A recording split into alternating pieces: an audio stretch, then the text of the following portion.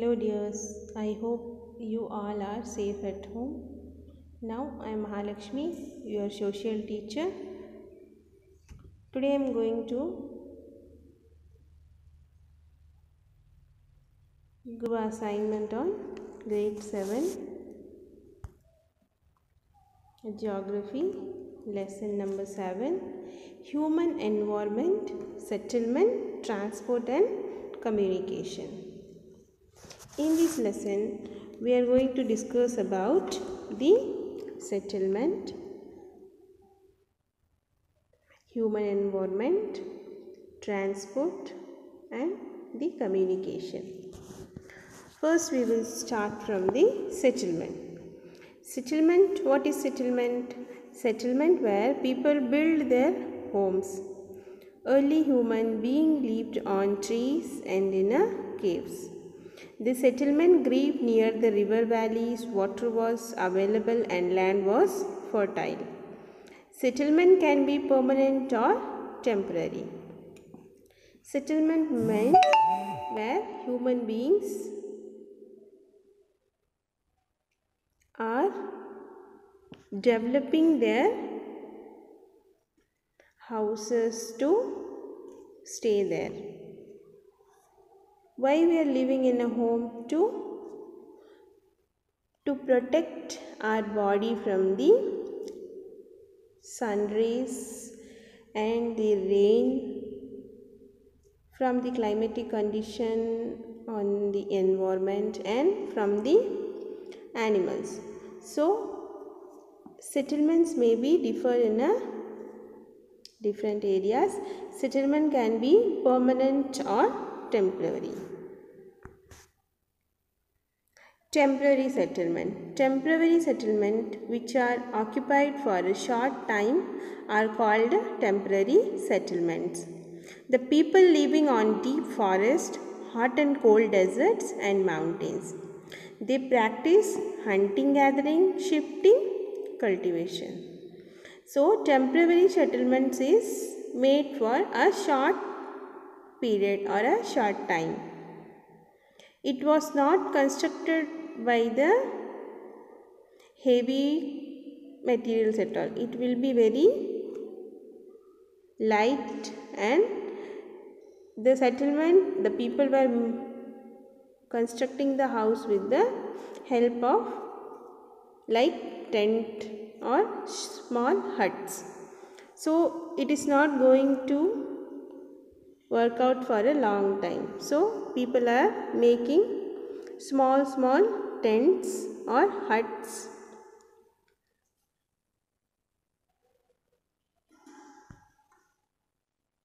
Permanent settlement. Permanent settlement it by the name we can understand permanent.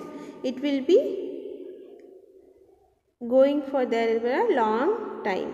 So in permanent settlement people were constructing their house with the help of cement and metals so it will be strong enough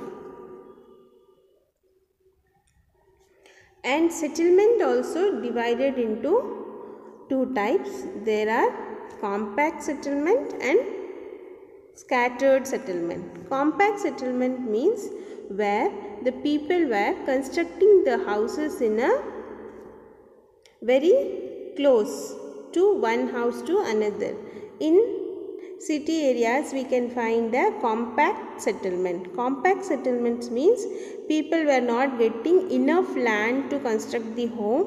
So they were constructing the homes near in a compact manner. Next one is scattered settlement. Scattered settlement means uh, mostly you can find the scattered settlements in a village areas. So where there are very large agricultural land is there and nearby one or two houses are there. So you can find the gap between one to another houses. So these are the two different types of settlement compact settlement and scattered settlement. Compact means very close to everyone. Scattered means there you can find the houses in long distance, maybe 1 kilometer in a distance. Permanent settlement. Next coming to the permanent settlement. Permanent settlement, in this settlement, people build homes to live in. In permanent also you can find the rural settlement and urban settlement. Rural settlement means village, village areas. There you where you can find the houses are constructing in a scattered manner. Scattered means in between that two houses you can find the large empty lands or agricultural farms. Rural settlements. The village are rural settlements where people are engaged in activities like agriculture, fishing, forestry, crafts work and trading. Next, urban settlement. Urban settlements means city areas where you can find most of the places where compact settlement. Compact means it will be very densely constructed. In urban areas, the people are engaged in manufacturing, trading and services. Next coming to the transport. Transport is the means by which people and goods move to one place to another place. Modern means of transport thus saves the time and energy the four major means of transports are roadways, railways, waterways and airways. Why people are need transport? To move one place to another place with the goods. So because of transports we can have a trade or we can have a good relationship with the whole world. The most commonly used means of transport, especially for short distance, are roads. The plains have a dense network of roads. Roads built underground are called subways or underpath. Subways where people were constructing the roads under the underground areas. Subway to control the traffic. Are classified into two subcategories. There are metal road, it means pakka road. Metal road means where the road is strong enough. It was constructed with the charcoal and metals. So, in any climatic condition, the road will be strong enough. You can drive your vehicles in a good manner. Second one is unmetalled road. Unmetalled road is known as Kacha road. Kacha means it was not usable in rainy season or any other climatic condition. So unmetalled road is a mud road where in a rainy season it will be destroyed completely. So there are two types of ro roads one is metal road and other one is unmetal road. Metal road pakka house pakka roads. Unmetal road kacha roads.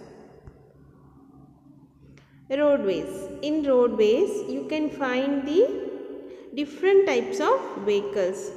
Starting from the bullock carts you can find the big container lorries also.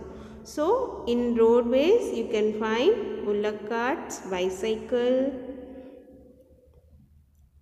two-wheelers, four-wheelers, car, buses, truck, vans, everything.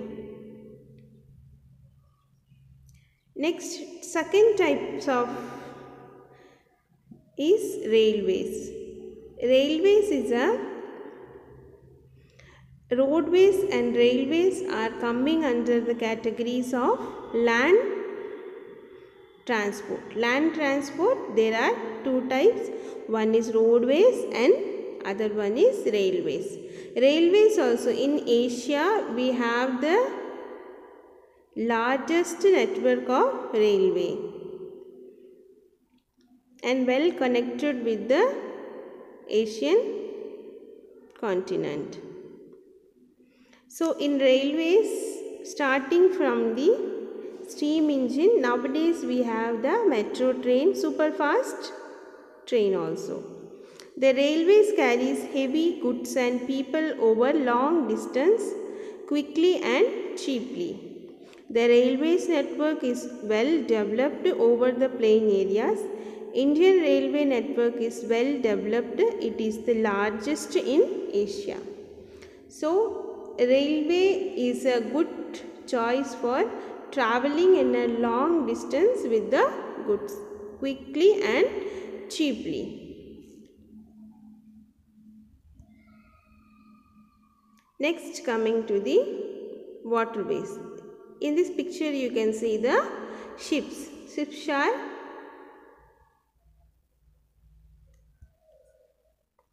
waterways. Waterways are the cheapest for carrying heavy and bulky goods over long distance.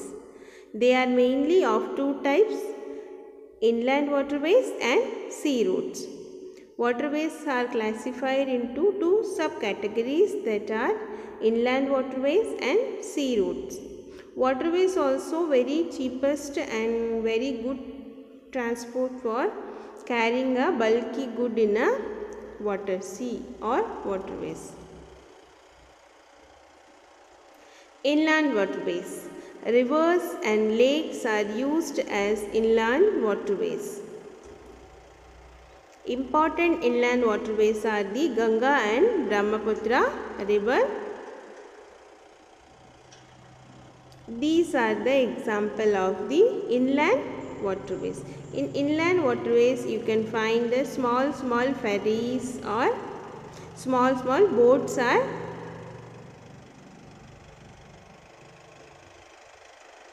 sea routes. Sea routes and oceanic routes are mostly used for transporting merchandise and goods from one country to another country. So, mostly we are using sea routes to carry forward the large amount of goods one country to another country. These routes are connected with the ports. What is the meaning of ports? Ports means where the ship will be filling their fuels and water everything in a like a parking place. Okay. Some important ports of India are Mumbai, Chennai, Kolkata and Vishakhapatnam.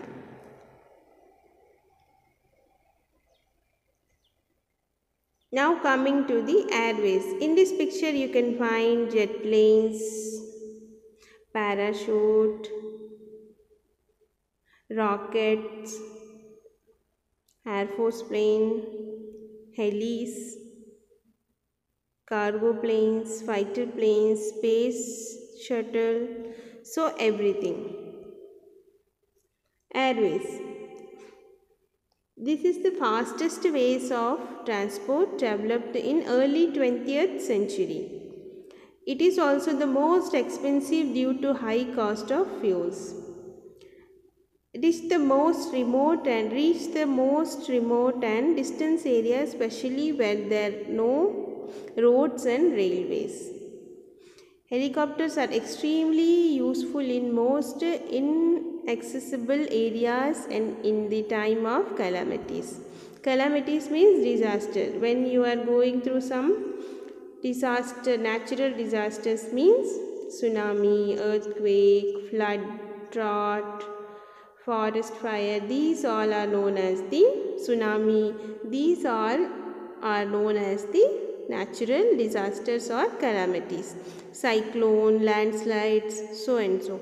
So in this time when you can't reach the affected place by the roadways or by the waterways the very good and very helpful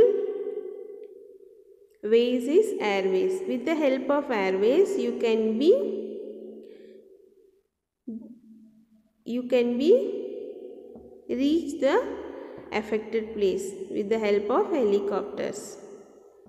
in he- with the help of helis you can give the medicine cloths and you can protect the life of the affected peoples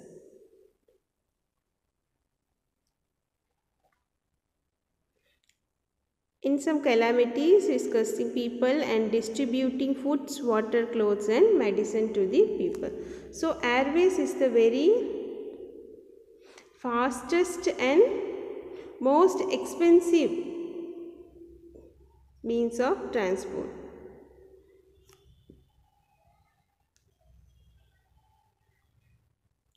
So previously we will study about the transports means of transport. There are four means of transport starting from the roadways railways waterways and airways.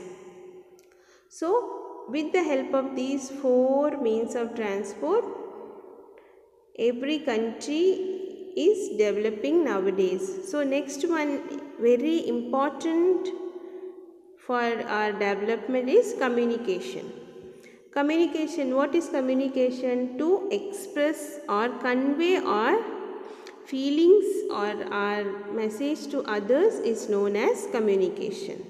Communication is the process of con- conveying message to others.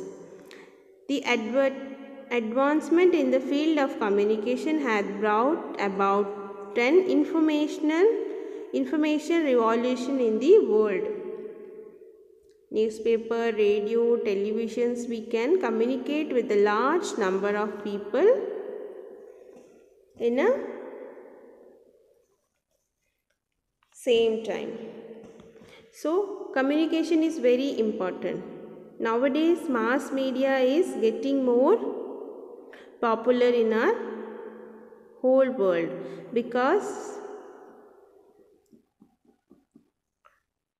communication is very important for our lifestyle. You can imagine without communicating with others we can live we can live but it is quite hard. So we need everyone's help and we need we have to communicate with others to know the current affairs to know the why we are needing everything because to we can do work completely in a short period. For example nowadays you can find internet is very important part of a human being. Without facebook whatsapp twitter and television we can't communicate with the large population so communication is doing a important role in our life.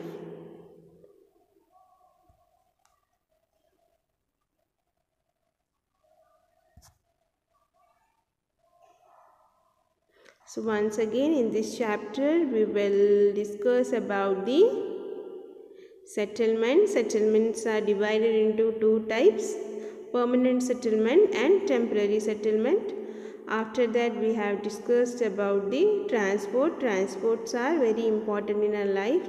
Transports also divided into five subcategories. Roadways railways waterways and airways. These also doing an important role in our life. Next coming to the communication. Communication also are with the help of these all we are developing in a faster way Thank you. Happy learning.